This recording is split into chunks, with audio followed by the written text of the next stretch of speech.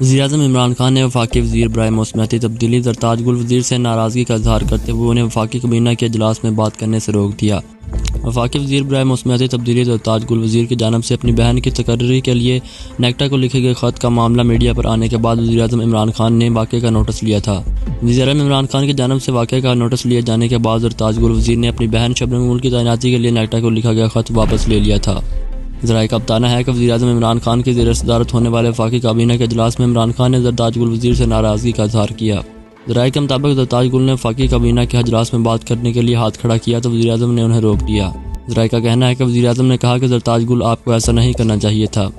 वजी अजम ने वफाकी काबीना के अजलास में हिदायत भी की कि वजरा अख्तियार का नाजायज़ इस्तेमाल ना करें।